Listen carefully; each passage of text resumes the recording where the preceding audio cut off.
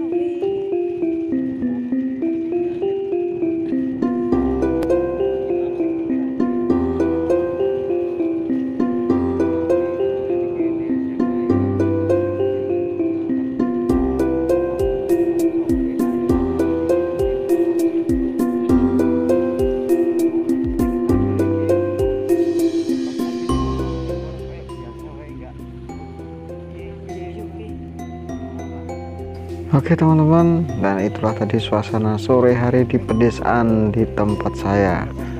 Jalannya lumayan oke teman-teman. Oke? Terima kasih sudah menonton. Jangan lupa subscribe like dan komennya. Assalamualaikum warahmatullahi wabarakatuh